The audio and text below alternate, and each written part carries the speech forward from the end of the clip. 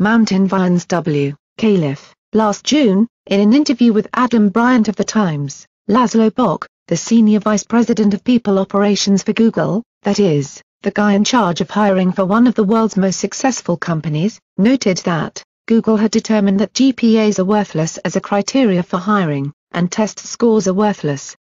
We found that they don't predict anything. He also noted that the proportion of people without any college education at Google has increased over time, now as high as 14% on some teams. At a time when many people are asking, how's my kid gonna get a job, I thought it would be useful to visit Google and hear how Bock would answer. Don't get him wrong, Bock begins, good grades certainly don't hurt, many jobs at Google require math, computing and coding skills, so if your good grades truly reflect skills in those areas that you can apply, it would be an advantage.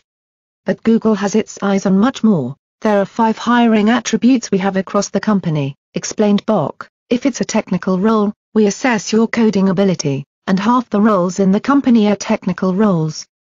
For every job, though, the no, one thing we look for is general cognitive ability, and it's not IQ. It's learning ability, it's the ability to process on the fly, it's the ability to pull together disparate bits of information. We assess that using structured behavioral interviews that we validate to make sure they're predictive.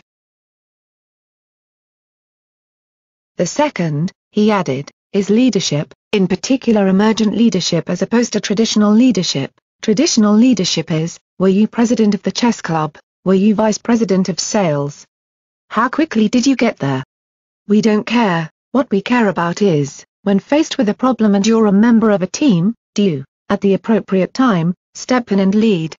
And just as critically, do you step back and stop leading, do you let someone else, because what's critical to be an effective leader in this environment is you have to be willing, to relinquish power. What else?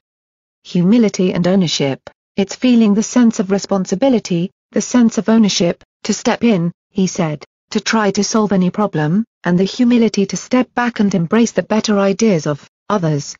Your end goal, explained Bock, is what can we do together to problem solve. I've contributed my piece, and then I step back, and it is not just humility in creating space for others to contribute, says Bock, it's intellectual humility. Without humility, you are unable to learn, it is why research shows that many graduates from hotshot business schools plateau. Successful bright people rarely experience failure, and so they don't learn how to learn from that failure, said Bock. They, instead, commit the fundamental attribution error, which is if something good happens, it's because I'm a genius.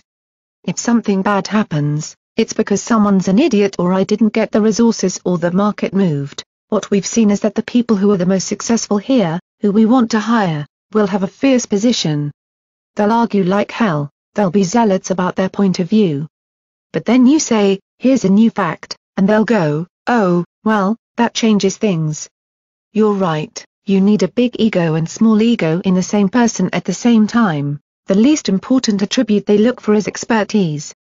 Said Bock, if you take somebody who has high cognitive ability, is innately curious, willing to learn and has emergent leadership skills, and you hire them as an HR person or finance person, and they have no content knowledge, and you compare them with someone who's been doing just one thing and is a world expert, the expert will go.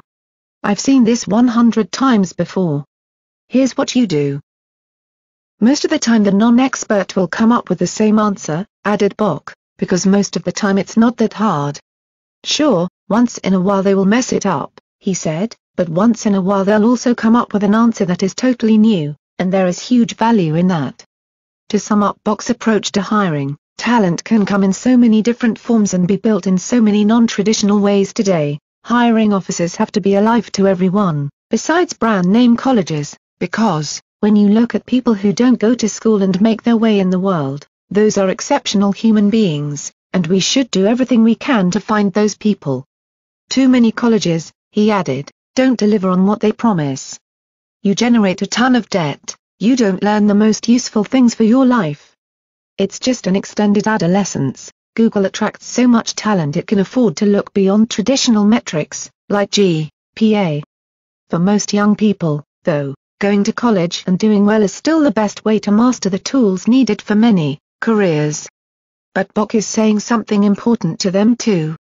Beware, Your degree is not a proxy for your ability to do any job, the world only cares about, and pays off on, what you can do with what you know, and it doesn't care how you learned it, and in an age when innovation is increasingly a group endeavor, it also cares about a lot of soft skills, leadership, humility, collaboration, adaptability and loving to learn and relearn. This will be true no matter where you go to work. A version of this op-ed appears in print on February 23, 2014, on page SR11 of the New York edition with the headline, How to get a job at Google.